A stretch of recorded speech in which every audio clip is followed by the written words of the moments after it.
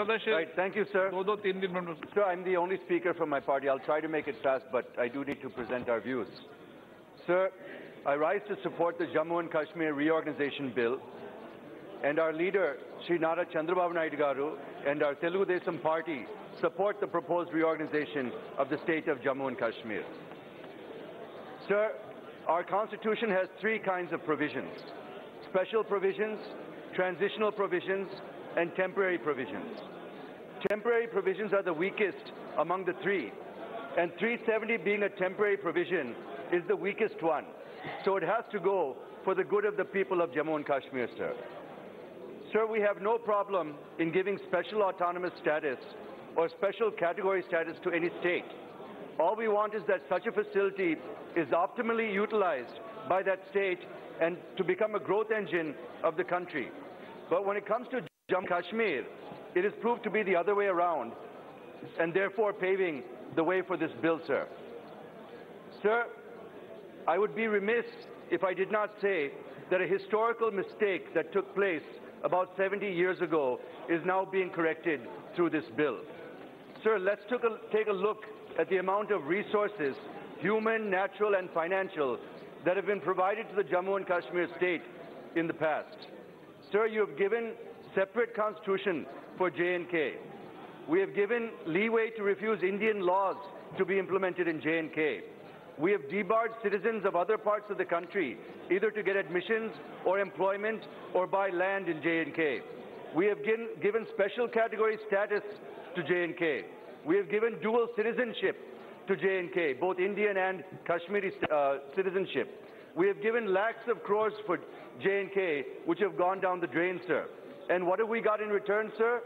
We have had to deal with bloodshed and terrorism. The tricolor is burnt in J&K, and it is not a crime.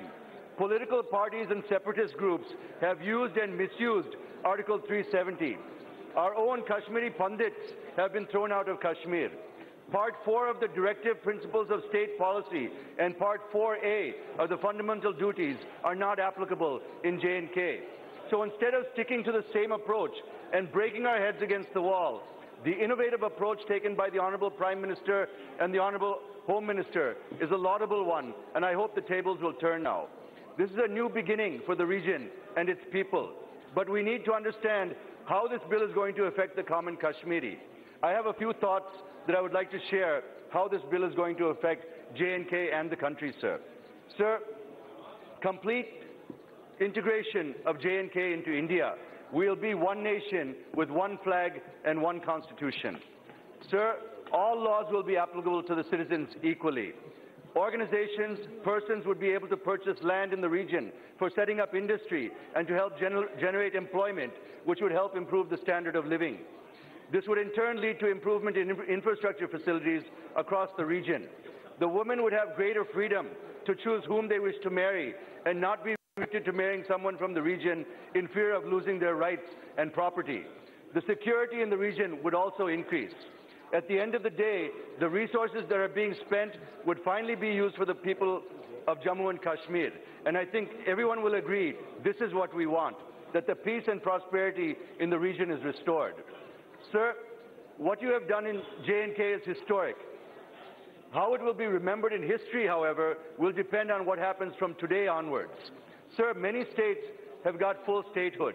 So instead of making it a state, you have split J&K into two union territories.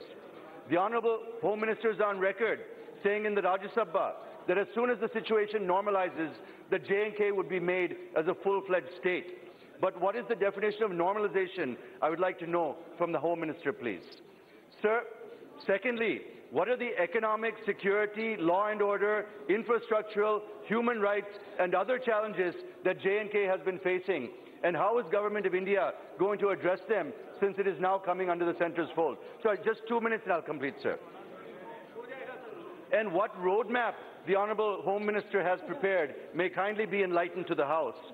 Has he set any milestones that need to be achieved and the timeline that they need to be achieved in in order to address these challenges. There must be a roadmap to achieve statehood, sir. This is very important. Sir, you have brought this bill under Article 3 of the Constitution. But look at Article 4 of the Constitution. What does it say? It says that when any state is bifurcated under Article 3, then supplemental, incidental, and consequential measures can be taken by the Parliament. I'm completing, sir. And we, have we even have the judgment of the Supreme Court on this. So uh, what I wanted to say is what supplemental, incidental, and consequential measures that the Honourable Home Minister is going to take for J&K is one thing we need to know, sir. Finally, sir, my final appeal is to restore normalcy in J&K at the earliest and to make all efforts to bring confidence to the people of J&K that they can live in, live in peace and with progress, prosperity, and dignity. Thank you, sir.